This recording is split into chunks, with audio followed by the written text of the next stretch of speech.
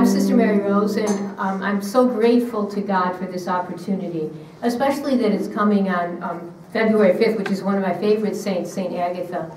I just love St. Agatha.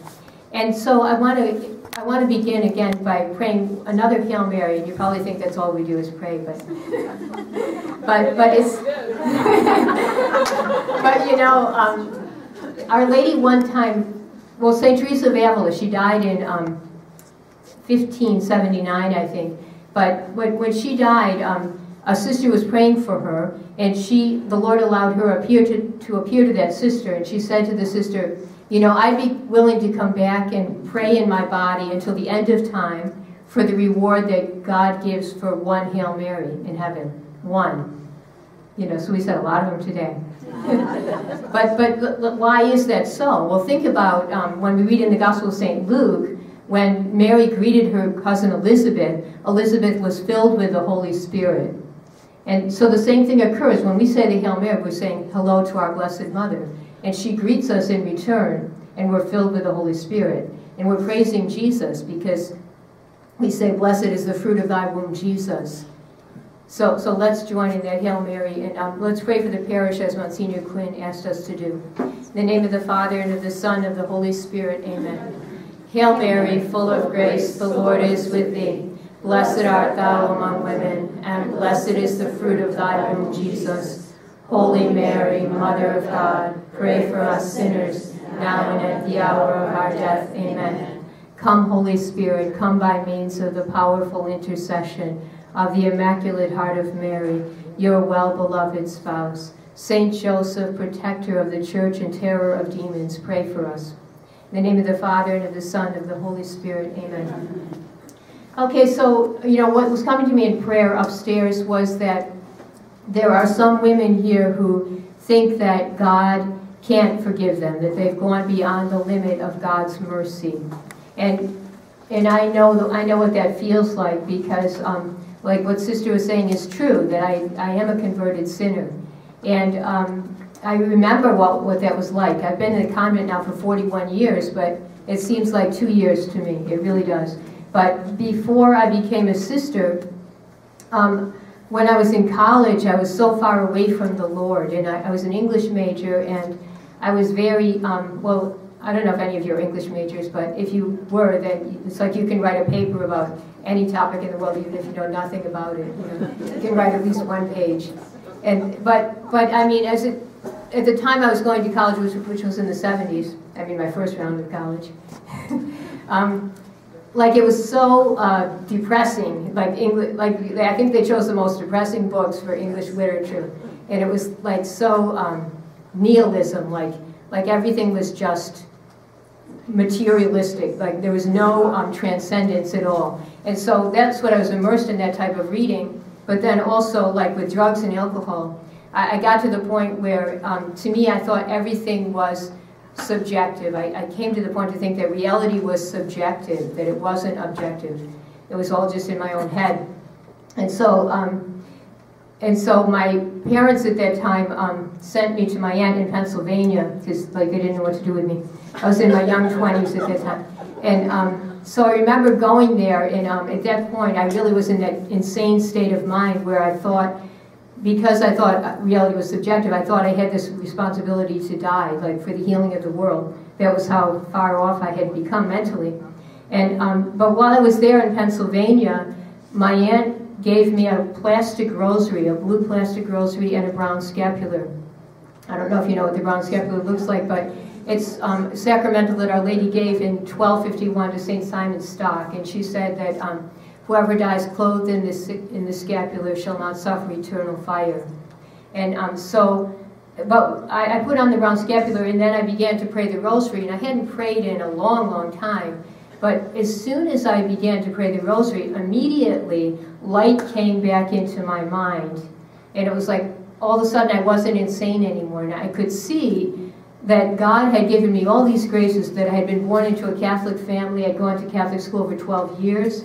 And um, I had thrown away all these graces, all these gifts that God had given me. I had just thrown them away. And so like it was the Holy Spirit was convicting me of my sin in a very powerful way. And so the next morning, I mean, I went to into um, Philadelphia to the Church of St. Bridget's, and I went to confession. And I remember this elderly priest, after he heard my confession, he said, "Well, you could become a saint, you know." And I said, "Did you hear my confession?" you know, you know. It, but but that was the beginning of my conversion. But it was only the beginning, and I I'd like to, you know, I'd like to tell you that as soon as I went to confession, ever after, I was like a holy sister. a holy daughter of Mary, but that wasn't the case. You know, I was struggling back and forth. And, um, but, but the worst suffering for me during that whole year that I went through was thinking that I was damned. And um, I, this is like a special ploy of the devil that um, he puts it into our heart that we've gone beyond the mercy of God. And, um, you know, heaven is for other people, but not for you because um, you've just gone too far. And um, and so I really like was tormented by this. The reason I thought I was damned was because I was misreading the gospel where Jesus says, um, those who sin against the Holy Spirit never have forgiveness. And so I was thinking that because I was insane, because I thought reality was subjective, that I had sinned against the Holy Spirit. And so priests kept telling me, well, that's not what that means. You know, what it means is to sin against the Holy Spirit means to refuse God's mercy because there's no sin that God won't forgive. But, but he, won't, he can't forgive people who don't receive his mercy because, because we have to open our hearts to receive his mercy. And so, I mean, I understand that now, but at the time I didn't understand it. And, um, and so I kept praying, and um, I had alienated, I grew up in Syracuse, New York, but I had alienated all my friends I'd grown up with because, you know, I was always trying to convert them now. Before I had been partying with them all the time. Now I was like always trying to get them to go to church with me, and um, like to the opposite extreme, which was very obnoxious. And I mean, you know, my my brother and sister still have not recovered. I don't think. but but anyway, um, so my only friends at that point were these were my mother's friends. You know, you know, so I'd go out to novenas with my mother and her friends, and um, you know, I just didn't have any friends of my own age really. One woman I remember um, who helped me so much, she was from Ireland, and she was she was a beggar actually in downtown Syracuse. I met her. Her name was Marianne Frances Ryan, and um, she helped me so much, you know, and um, just like giving me faith in God and, and giving me that courage to believe that yes, God had forgiven me. But meanwhile, one of my mother's friends gave me a copy of True Devotion to Mary by St. Louis de Montfort. And so I read that book and I and I did the 33-day preparation of um, consecration to Jesus through Mary. And it happened to be that um, I was back in Philadelphia at the end of the 33 days. I was visiting one of my friends that I had grown up with. And um, so I was able to make that consecration in the shrine of Our Lady of the Miraculous Medal in Germantown, Pennsylvania. And from that moment, which was March 25th, 1980, our Blessed Mother took away that feeling that I was damned. She took it away. And so, um, and it's never come back. And um, she's also kept me out of mortal sin during all those years. It's like, it, it was like she took over my spiritual life. Um, and that's, that's what I think she wants to do for all of us, especially if you're tormented by that type of thinking that you can't be forgiven, or maybe that you can't forgive. That's, that's another type of torment. Like, because um, statistics show that um, there's a very high rate of abuse, that women have been abused, as children in particular. And so I'm sure that some of us in this room have been abused. And that's a hard thing to forgive. And it's a hard thing to forgive the Lord because we think, um, where were you, Lord? And, and, so, so we have to um, ask our Blessed Mother, we need her motherly kindness to come in and, and heal all those wounds and she herself was wounded so that we could be forgiven. Because if you think about it, um, Our Lady says, My soul magnifies the Lord, and my spirit rejoices in God, my Savior. And so that's what her soul does. It, it, teaches us how to magnify the Lord. And she wants to give us her own soul. She wants to give us her own heart to magnify the Lord. But what did her soul have to suffer to, to receive the capacity to be the mother of us all? because you know, most of you are probably mothers, how um, painful motherhood can be, not only physically giving birth, but the continuation of mothering, you know, of, of trying to keep your children um, close to the Lord. And, and so our Blessed Mother, it, when she brought the baby Jesus into the temple in Jerusalem to offer him to the Lord when he was 40 days old. And um, the Holy Spirit inspired the prophet Simeon to come into the temple and to recognize that this baby was Jesus, the Messiah. And so Simeon took the baby in his arms and said, Now I can die in peace, because my eyes have seen your salvation, which you have prepared in the sight of all people. And then he said to our Blessed Mother, and thy own soul, this child is set for the fall and for the rise of many in Israel, and for a sign that shall be contradicted, and thy own soul a sword shall pierce, that the thoughts of many hearts may be revealed. Thy own soul a sword shall pierce. Now, um, think about that because a soul, I, I wanted to, um, in the program, I put a little bit of a definition of what a soul is because I wanted wanted to talk about that so that we can get an impression because this retreat is about the healing of the soul and it's about the, the uh, third petition of the Our Father, Thy will be done on earth as it is in heaven. So how does living out that petition heal our souls? And, and how did the Holy Family in particular teach us that?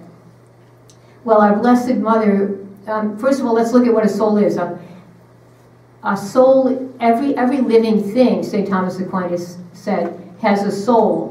You know, that's the animating principle, like um, like the plant. I mean, if these plants were real, they would have souls. I don't think they're real, but um, it's because they look so much better than my plants. I think they must not be real. But but a soul is the animating principle of a body. So when the soul leaves, the body dies. And um, but the only soul that is also a spirit is the human soul. Like our souls are spirits. And Frank Sheed, I love his book Theology for Beginners. I recommend it to you if you ever want to read a really good book.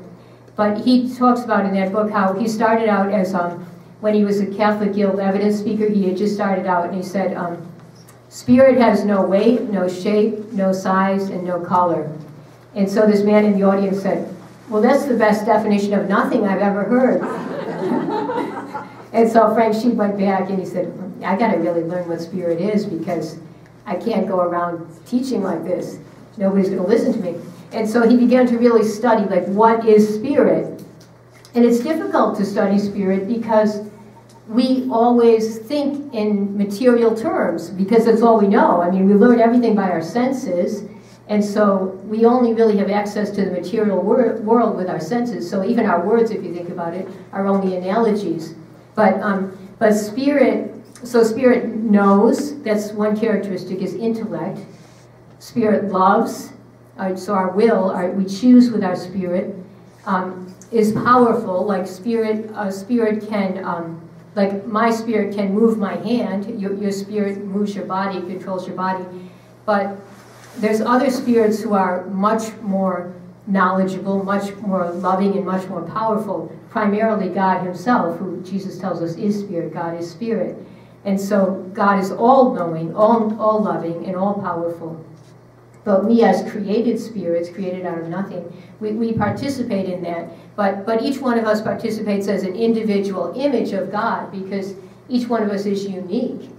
You, you know, think about that, that, um, you know, we're created out of nothing. And so, but and God didn't have to create us. He could have created any other group of people than us. But, but He loved us into being. And, um, and that you reflect God. You reflect God as the infinite beauty in a way that nobody else ever will again. Nobody.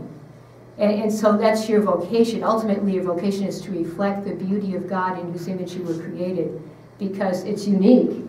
And so when you get to heaven, um, all the angels and saints are going to be rejoicing to see that new image of the God that they love, that you are.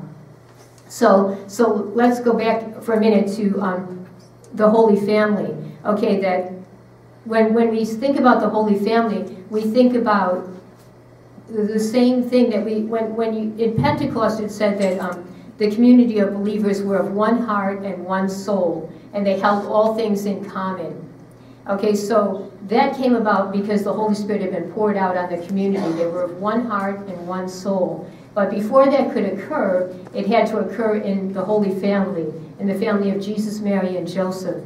And in particular, we think about Mary and Joseph, their marriage, their virginal marriage, and how that marriage was overshadowed by God the Holy Spirit.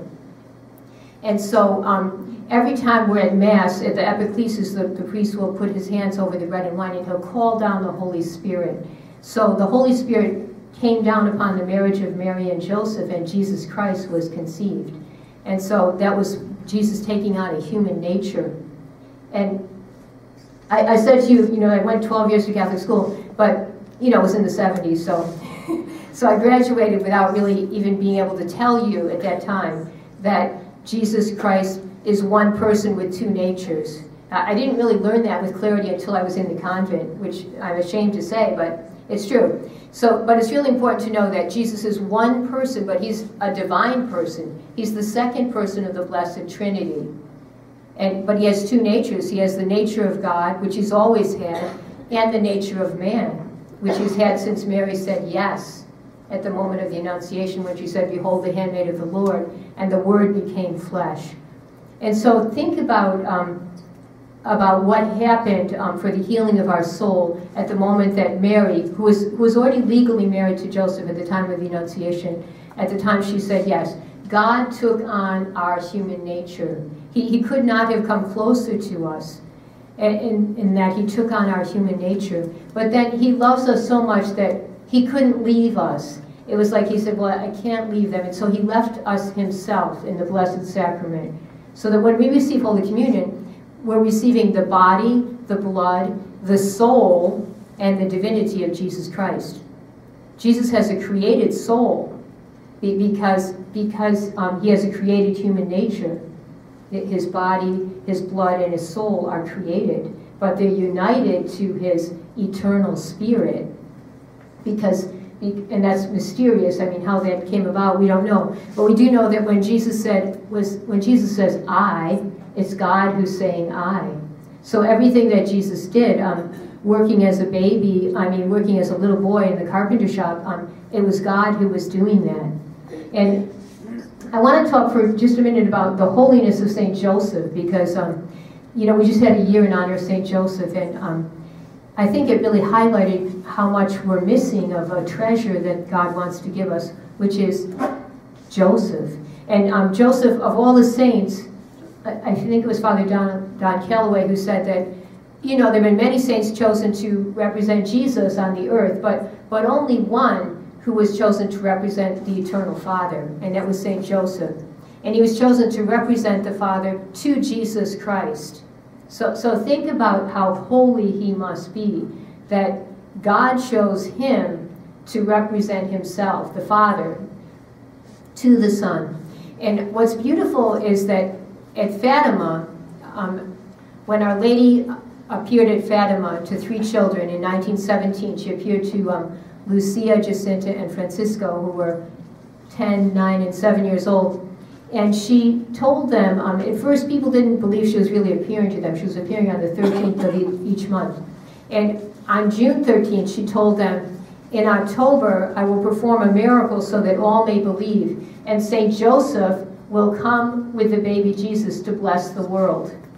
And so that did occur, as you, if you know the story of Fatima, on October 13, 1917, in the presence of 70,000 people, the miracle of the sun occurred, which um, had been foretold by Our Lady that would occur at noon on October 13, 1917. The only, I mean, the only miracle that was predicted in time before that was the resurrection of Jesus Christ from the dead. But, but Mary predicted, she said, this is going to happen on this day at this time, and it did. But during the miracle of the sun, which um, I don't know if you've studied much about Fatima, but the sun was giving off all different colors of light, all different beautiful colors, and um, the people could look right at it. And then it seemed like it was going to crash into the earth, and people thought it was the end of the world. So some people were yelling out their sins. And um, and then the, the sun returned to its normal place. This occurred it, taking 12 minutes of time. And even though it had rained all night long, and some people had been out in the field all night, um, when they looked down, the ground was completely dry and all their clothes were dry. So that was what the people saw, and um, some of them were atheists prior to that. You know, even like some of the um, secular newspapers had come just to make fun of it, but but they were like kneeling on the ground after it was over. But, but meanwhile, Lucia and Jacinta and Francisco were seeing something different that the, the people weren't seeing. And um, one of the things that Lucia said she saw, and I want to read it to you because I have it written down um, from her memoirs.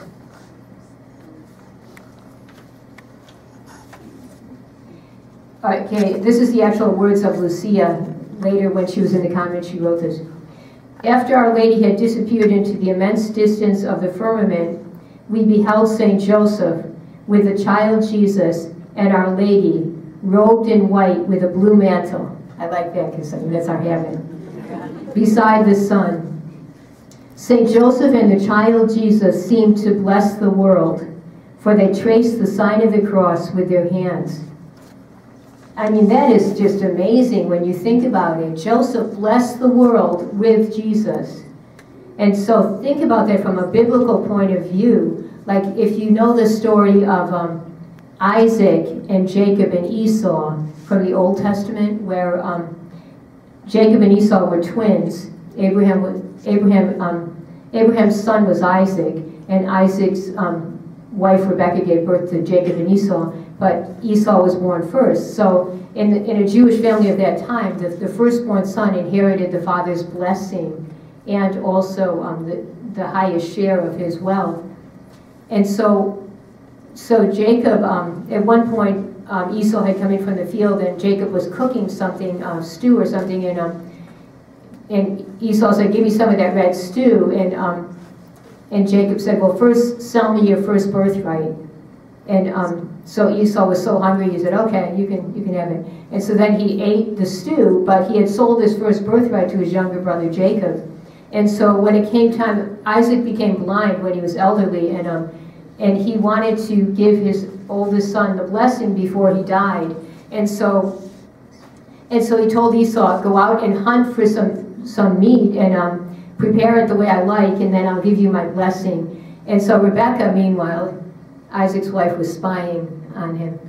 And she heard him say that, so so she went and um, got her son Jacob, who was her like her favorite son, and she said, "Go and get two small goats out of the flock and um, bring them to me, and I'm going to prepare them for your father, and he'll give you the blessing."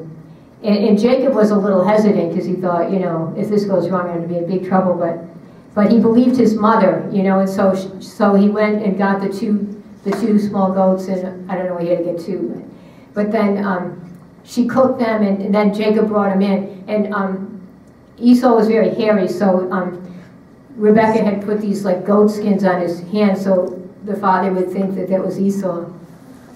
I guess he was more than just blind. But, but anyway, um, when, when Jacob came in and um, he said, I've come, Father, to receive your blessing. And, and he did manage to trick Isaac into thinking that he was Esau. And so um, Isaac gave him the blessing, the father's blessing. And so um, then when Esau came back, he was like ready to murder Jacob. So, I mean, you can read the rest of that story in, in Genesis, but the reason I bring up that story to you is, well, for two reasons. One is, um, like St. Louis de Montfort in his book, True Devotion to Mary, he compares that story to our Blessed Mother getting the blessing for us. And um, it's really kind of what she does do. She gets us the blessing of the firstborn, which is her son Jesus. But Jesus wants us to have that blessing. He, he wants us to have his blessing. But look at this scene at Fatima that um, Jesus, as a baby, is choosing to bless the world with, with the fatherly blessing of St. Joseph. You know, that he is giving us that blessing. And so he's blessing the whole church. And um, because our Blessed Mother and St. Joseph lived with Jesus in Nazareth, um, we can see them as a kind of new Adam and Eve. You know, that Adam and Eve walked with God in the garden, and it's like Sister um, Esther Marie in her talk was saying how, um, how it, it says that um, John Paul II says, original sin attempts to abolish fatherhood be, because um, if you think of the temptation of Eve, Satan said to her, I mean, under the form of the serpent, Satan said, um, did God really say? You know, so he, he sows doubt into Eve's mind about the Father. And, and so what we're always trying to get back to, as Sister Esther Meek brought out so well, is that trust in the Father. But it's hard for us to trust the Father, especially if we haven't had fathers who were loving. Um, so, so we need to have Joseph and Mary come and help us to recover because they're perfect parents. They're perfect human parents, and they can help heal all those wounds that we have in our soul, either because we've been abused or because we have in some way abused others by our sins. Okay, because we're, we're all sinners and um, we've all been sinned against. So, so that leaves wounds in our soul that makes it difficult to pray. Like Our Lady said, the two obstacles to prayer, I told you before, are sin and worry. And um, we have to first know what our sins are. But that's partly what, what happened when her soul was pierced with a sword, was so that the thoughts of many hearts could be revealed, that uh, Our Lady helps us to know what our sins are so that we can repent. And, um, you know, sometimes people, um, they're afraid to go to confession, you know. They, they think, oh no, the priest is going to see me, and they're going to, the next time they look at me, they're going to say, you did that? but, you know, that's not true. That, that's, that's a lie of Satan. Okay, the priest, like, they, he, they've heard all the sins, all the sins they've heard. And besides, Jesus said, um, he said to St. Faustina one time, my, my mercy is greater than all your sins, and it's greater than all the sins of the world. So, so um, if his mercy is greater than all the sins of the world, it's certainly greater than your sins. And, and so you should never think that, um, or maybe another thing people think, they, they think, oh no, I haven't gone to confession since I was in second grade. I can't remember what to do. Like the priest's going to think, you know, you're kidding me. You don't know how to go to confession? you know, I'm just telling you what goes on in people's minds, I think. And so, but that's another lie of Satan, okay? Because if you don't know how to go to confession, the priest is going to help you. And the, the basic thing you have to do at confession is confess your sins. That's the most important thing. And to be sorry for them. And, and not to hide them out of shame. Because, like I said, the priest has heard all the sins, and he's just rejoicing like, imagine if you had that ability to forgive people's sins. Wouldn't you rejoice if uh, someone came and, and, brought some big sins to you and um, asked you in the name of God to forgive them, that you could restore life to that soul? Like St. Augustine said, it's a greater thing for God to forgive a mortal sin than to create the universe. It's a greater thing. Because the universe is finite, but, but the soul is not. The soul is eternal. The soul's going to go on forever. I mean, we, we're not eternal in the sense of God because we had a beginning, but we don't have an end. We're immortal souls. And so um, that's another characteristic of spirit is that it doesn't occupy space because it has no parts. Like, like you can't say, well, my, I remember when I was a little kid, um, I made my first confession in first grade, and then um, it was the day before my first communion, and I had this sister, Theodore Agnes who was my teacher, and she told us um, when we went to confession, she said, now be careful not to spill the grace out of your soul. And so I remember walking home from school that day, and um, I was like walking like this. you know, I was so worried that the grace was going to spill out of my soul. And, and so, but I think we all sometimes tend to have that vision of the soul as if it's the same shape as our body and, uh, you know, just like kind of transparent. But, but that's really not the soul. Our soul is not in space. And um, so it, it doesn't need space. It's like the angels. The angels are not really in space either. They don't need space. Space is a limitation, the need for space. And so um, think about your guardian angel, for example, who's with you right now and who's always praying to God, always seeing God face to face and praying for you at the same time, loving you and um, trying to put good thoughts into your heart, trying to reassure you that um, you have been forgiven. God wants to forgive you. He loves you with an infinite love. And just think about um, what was the hardest thing for Jesus during his passion, do you think? What was the greatest suffering? Does anyone know? The greatest suffering of Jesus was unrequited love. Unrequited love. Because he said, Greater love than this no one has that one lay down his life for his friends. You are my friends if you do the things I command you. And so, has anyone else been nailed for you? Has anyone else been scourged for you and mocked and crowned with thorns? But Jesus has been. Because Jesus would have done that even if you were the only one. He would have done it. That's how valuable your soul is to him. Your soul is infinitely valuable to him. And, and, he could have redeemed the world just with one drop of his precious blood, or just by saying a word, you know. He, he could have, because he's all powerful, he's God. But no, he chose to go through this gruesome murder, allow himself to be murdered and beaten and um, savagely beaten, so that you would know how much he loves you. And so that you would look at him and know that um, his mercy is for you. So please, um, if you haven't gone to confession, go back to confession because God's waiting. He wants to pour out so much grace into your soul. He wants you to become a great saint. You, you know, a saint who will influence so many other souls for good. And I know that um, some of you probably are praying for your children. I know we all have relatives and friends who um, are away from the Lord. And but but the way that we can most bring souls to Jesus Christ is by allowing Him to love us. Like it says in the Song of Songs, begins with um, let him kiss me with the kiss of his mouth. For, for thy breasts are better than wine. Draw me, we will run after thee.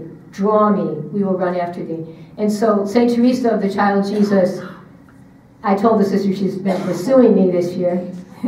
and um, but but she said one time she said she understood that to mean draw me and we will run after thee um, that when she would be drawn, allow herself to be drawn by the Lord, that other souls would be drawn after her.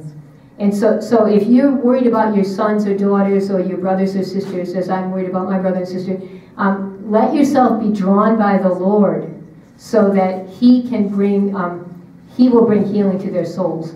The, the more we allow God to love us, the greater our capacity for receiving His love, the more our love will influence them.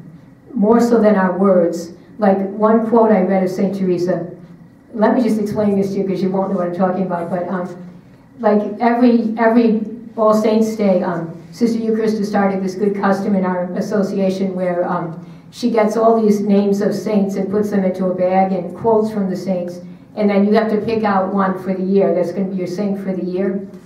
And so this year I picked out St. Teresa of the Child Jesus, and um, you know, she's always seemed like a little too good for me. Like, you know, I just think, you know, she's not my style of saint. But, but, but then she, um, she seems to be pursuing me. Like, like three days ago, I'll show you. Three days ago, I get this in the mail from a, a place I don't even belong to. You know, so I said, okay, well.